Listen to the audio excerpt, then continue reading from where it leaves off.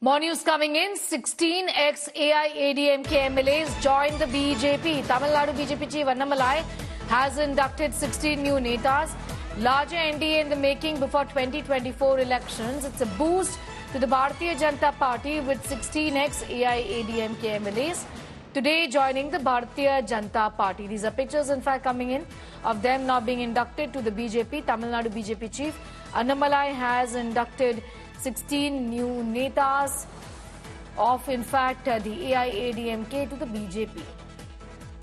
The third, the third in the list is M.V. Ratnam, two-time MLA from Pollachi Assembly constituency and a very senior leader from the AIDMK party. We welcome him very warmly to BJP.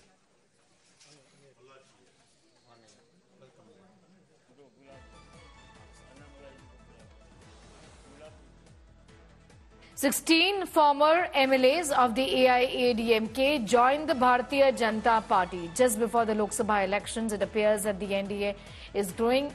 TN uh, Tamil Nadu BJP chief Annamalai has inducted these new netas to the BJP today.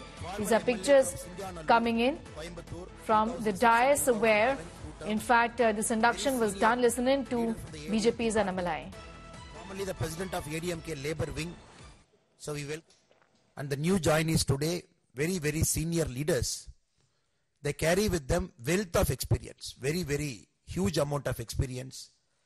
Some of them are in politics for the last 50 years. And some of them were in political parties when it got founded in the state of Tamil Nadu.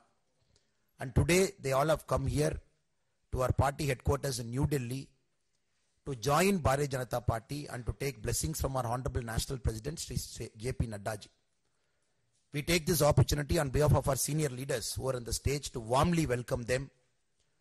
And they have very carefully seen the political happening in the state of Tamil Nadu. And at one time, this is the first time in Tamil Nadu BJP, at one time we have 15 former members of Legislative Assembly and one former member of Parliament. 16 people joining the party today. And we have two more former MLAs who have joined the party already during the ongoing En Mann En Makkal Yatra, different phases. So altogether 18 people, they have come to the stage today. It is my duty to introduce each of these leaders one by one. I will take this opportunity to introduce Thiru K. Vadivelu Avargal. K. Vadivelu Avargal, he has been elected as member of Legislative Assembly from Karur Assembly constituency